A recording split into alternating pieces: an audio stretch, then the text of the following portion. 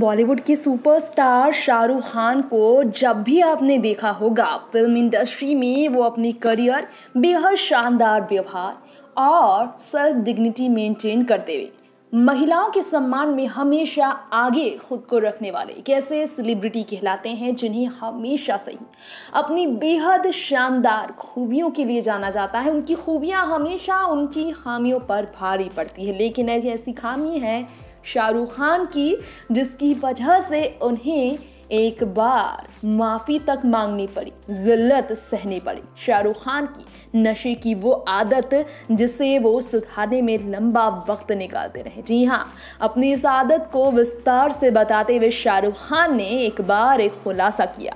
आपको ज़रूर सुनकर हैरानी होगी। शाहरुख खान, चौवन साल के अभिनेता शाहरुख खान के बारे में।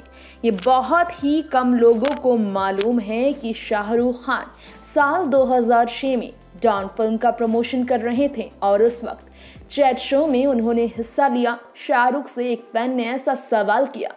उन्हें माफ़ी मांगनी पड़ी। जी हाँ। दरअसल शाहरुख खान का सवाल था कि आप एक एंटी कैंसर प्रोडक्ट लॉन्च करते हैं।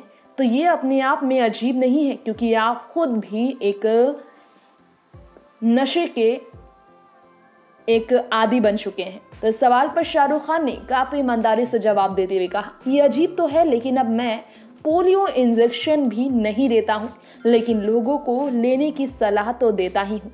मैंने हर बार कहा है, मैं नहीं छोड़ सकता। कुछ ऐसी आदत जो बहुत बुरी है, जानते हैं, लेकिन उसे उनकी लत है। लेकिन वो बहुत जल्द छोड़ देंगे, इसकी कोशिश उनकी डेली होती है। अच्छे प्रोडक्ट को लॉन्च करने का मौका जब मिलता है तो वो आगे क्यों ना आए? उनकी नज़र में अच्छी चीज़ें लोगों तक पहुंचनी ज़रूर चाहिए। शाहरुख ने माफ़ी भी मांगी अपनी गंदी आदत की वजह से उसी दौरान, और उन्होंने कहा कि फ़ोन किया गया था उन्हें, और पिताजी की पुण्यतिथि थी तब कैंसर की वजह से उनके पिता गुजरे थे, सभी जानते हैं। और उन्हें इस प्रोडक्ट को लॉन्च करते हुए बहुत ज़्यादा अपने पिता की याद आती है। माफ़ी मांगना चाहते हैं वो, क्योंकि वो अपनी लत सुधार नहीं पाए। नेक्स्ट नाइन न्यूज़ रूम से तृप्ति की रिपोर्ट।